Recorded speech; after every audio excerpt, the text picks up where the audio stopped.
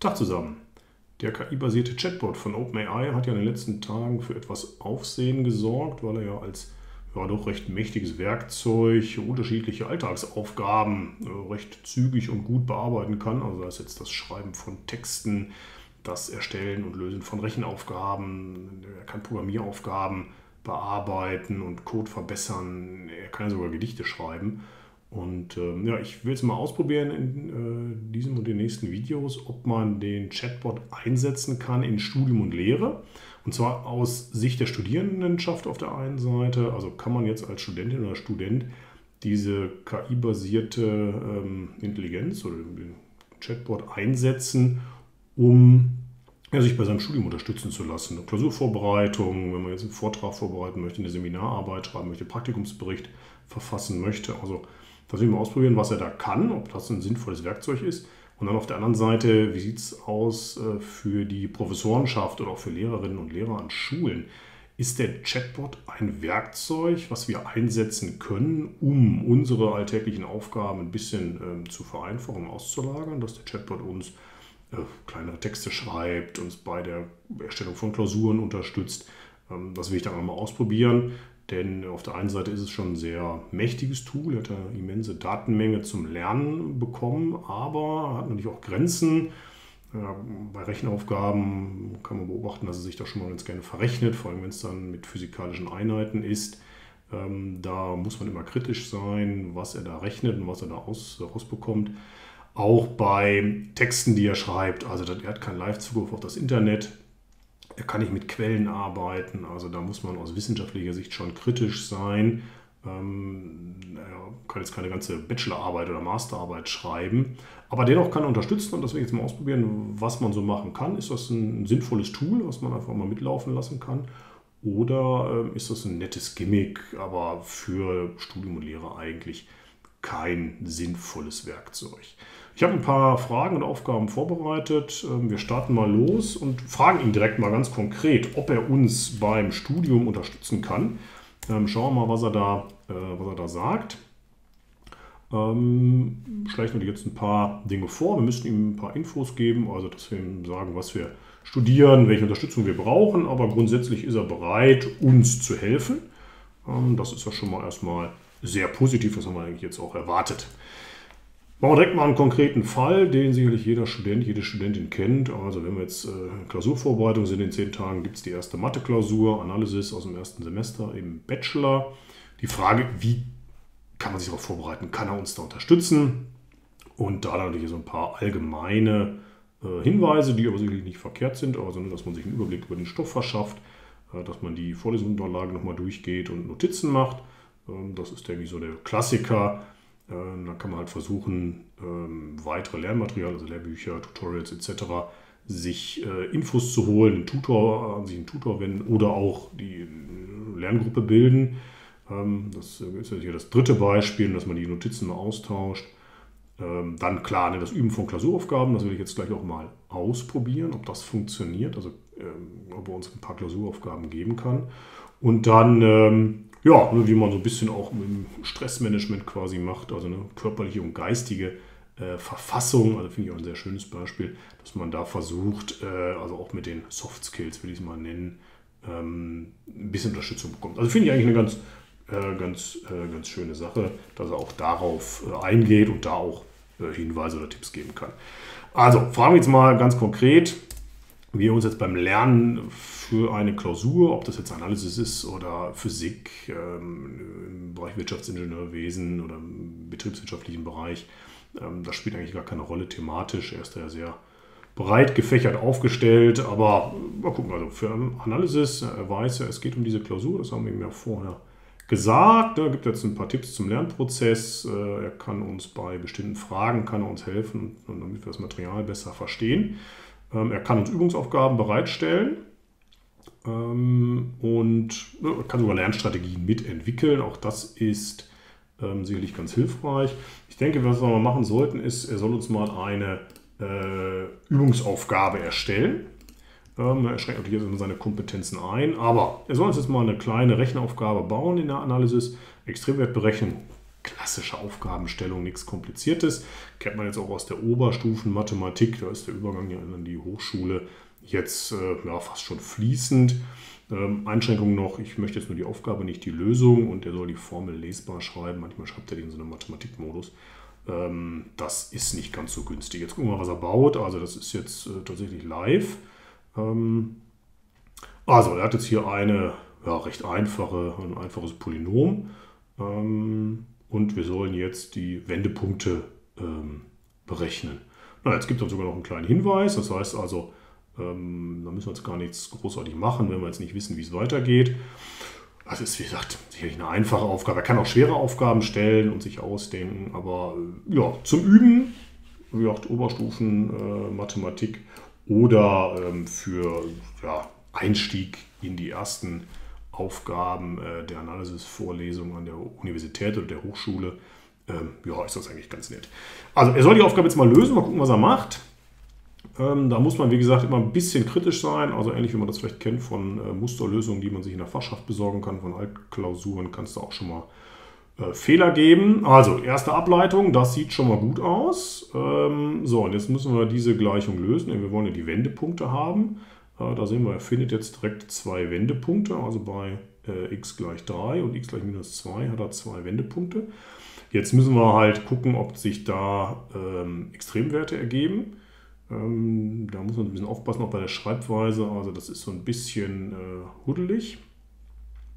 Ähm, ja, also hat jetzt die... Ähm, also hat er jetzt richtig gerecht, wenn man sich das mal anguckt, der hat die erste Ableitung gebildet. Also wir wollen ja den Wendepunkt haben, da brauchen wir eigentlich die zweite Ableitung und nicht die erste. Für die erste Ableitung, da haben wir ja ein äh, Maximum oder ein Minimum und setzen dann ja die Funktion ein. Also fragen wir ihn mal, äh, muss man für die Bestimmung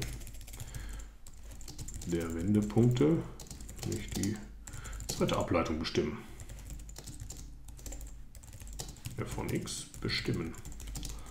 Kannst du, du das machen? Fragen wir mal. So, schauen wir mal, was er jetzt dazu sagt.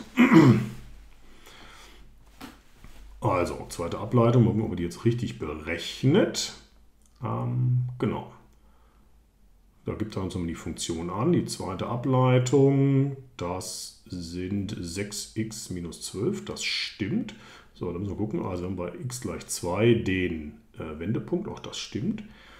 Ähm, so, und jetzt guckt er, rechnet er den, den Funktionswert an der Stelle aus. Eigentlich geht es jetzt ja um, den dritten, um die dritte Ableitung.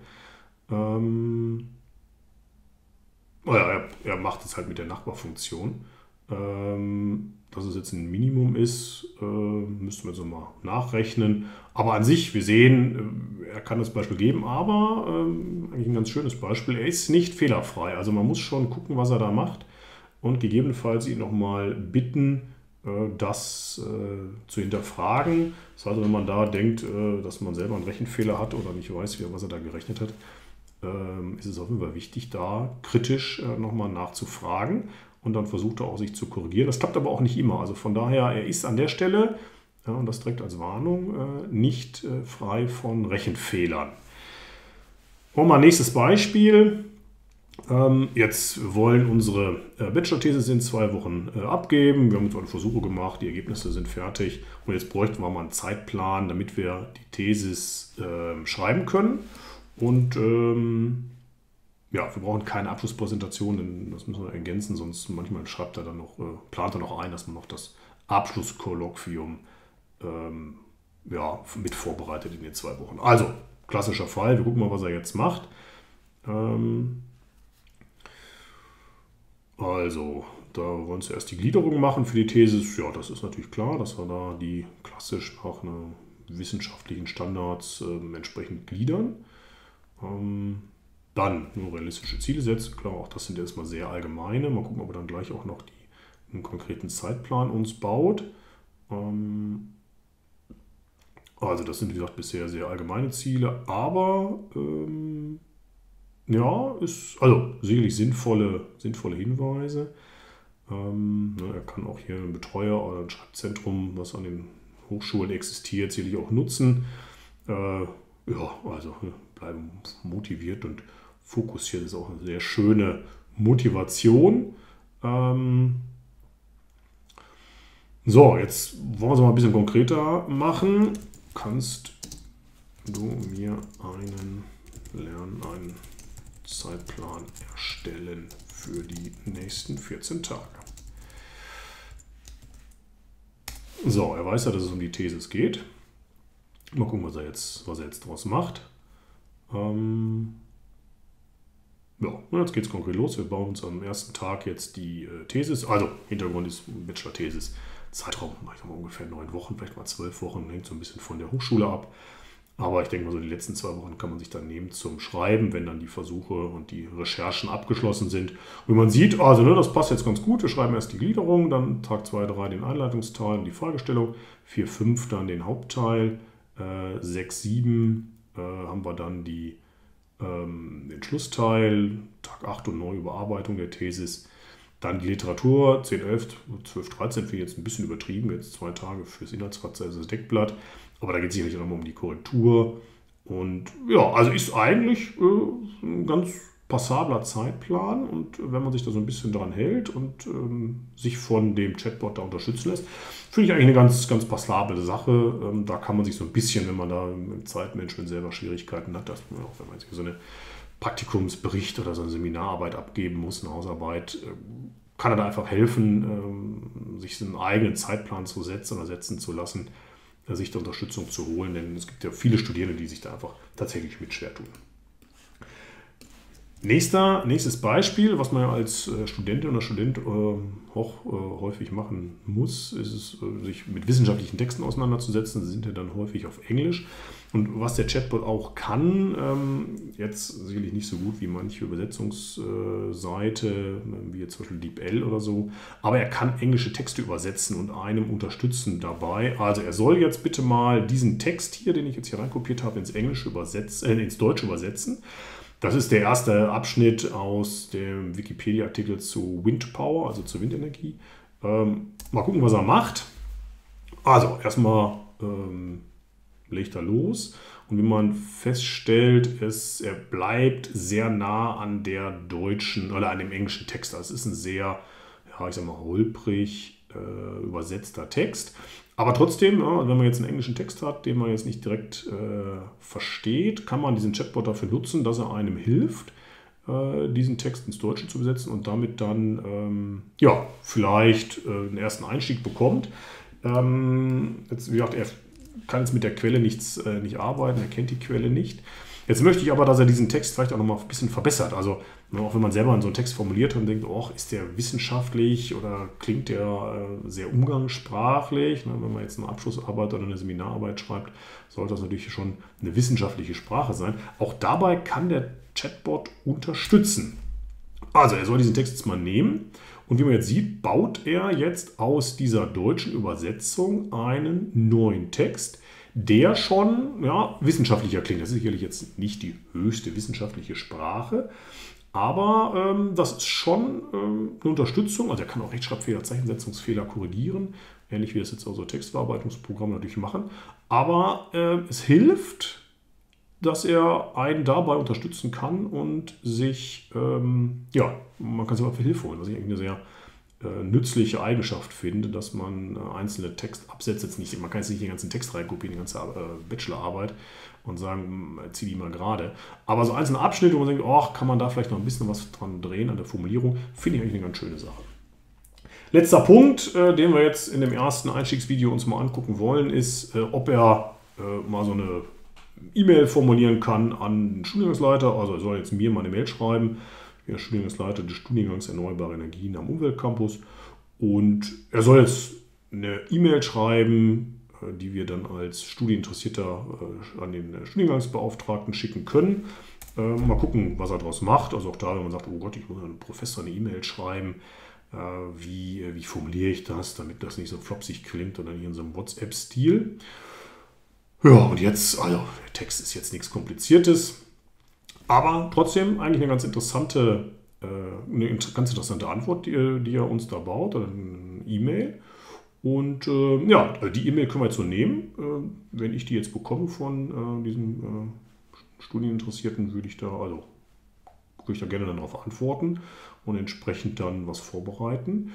Also von daher, wir sehen äh, bei der äh, Matheaufgabe für die Klausurunterstützung, da muss man ein bisschen kritisch sein, aber klappt eigentlich grundsätzlich ganz gut. Vor allem, also die Aufgabe selber ist das wichtig. Bei der Musterlösung da kann er vielleicht eher als Hinweisgeber dienen. Ob die Musterlösung immer vollständig richtig ist, ist immer so eine Frage, aber er ist sicherlich eine sehr gute Unterstützung. Er kann uns äh, beim Zeitmanagement helfen, er kann den Studierenden äh, beim Formulieren von wissenschaftlichen Texten äh, kann er unterstützen. Er kann sie nicht selber schreiben, weil wie gesagt die Quellenzitation vollständig fehlt. Das klappt überhaupt äh, nicht bei dem Chatbot, also noch nicht. Vielleicht kann er das in der nächsten Version. Nein, er kann so typische Aufgaben, also eine Mail an so einen Prof zu schicken. Äh, da kann man sich auch Unterstützung holen. Ähm, also von daher will ich jetzt nach der ersten Runde sagen, ja, also der Chatbot äh, GPT ist äh, eine gute Unterstützung. Ähm, den kann man einsetzen als Studentin oder Student im täglichen Arbeiten äh, im Rahmen des Studiums und äh, sich da digitale Hilfe holen. Also von daher eigentlich eine sehr schöne Sache.